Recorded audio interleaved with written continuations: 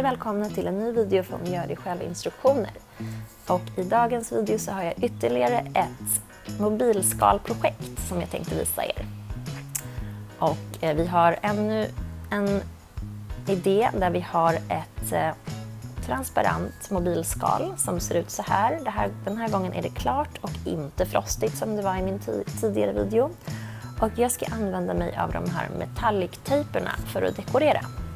Ni kanske såg de här i en tidigare video för jag gjorde en haul när jag hade köpt de här online. Jag har fyra olika färger.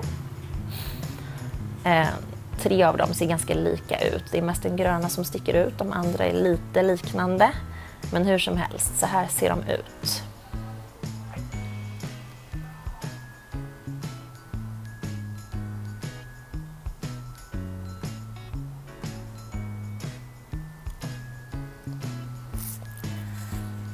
Okej, som ni säkert förstår så ska jag bara tejpa det här på, um, på mobilfodralet. Men jag tänkte att jag skulle vara lite mer originell än att bara tejpa på remsor så att det blir randigt. Utan jag tänkte mig försöka på en annan idé som jag har.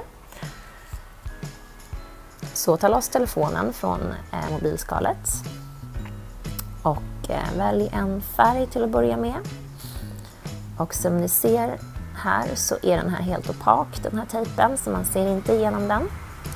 Och jag ska klippa ut små trekantiga bitar på det här sättet.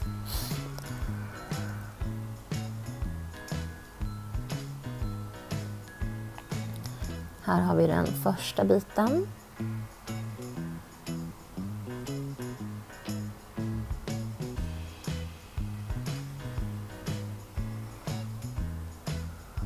Och jag börjar längst upp i ena hörnet.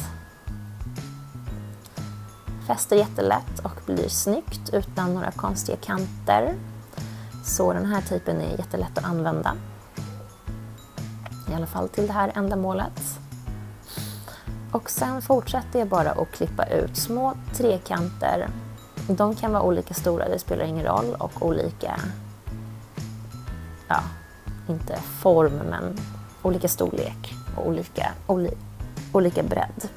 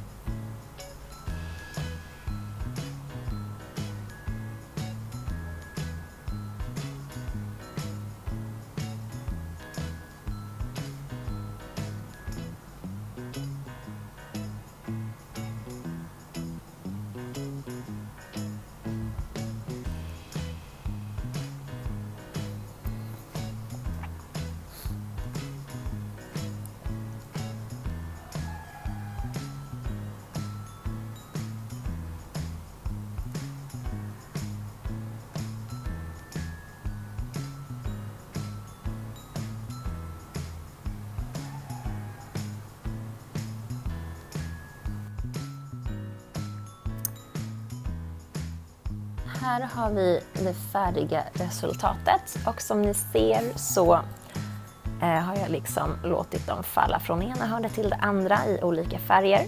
Och min telefon är svart, så när jag sätter in den så kommer det att se ut så här. Så jag hoppas att ni tyckte att den här videon var till stor hjälp. Det här är som sagt ett väldigt enkelt sätt att piffa upp sitt mobilskal på. Tack så mycket för att ni kollade. Ge mig gärna en tummen upp och eh, prenumerera på vår kanal så får ni se nya videos så fort de kommer upp om ni behöver inte missa någonting. Tack så mycket för den här gången och vi ses i nästa video.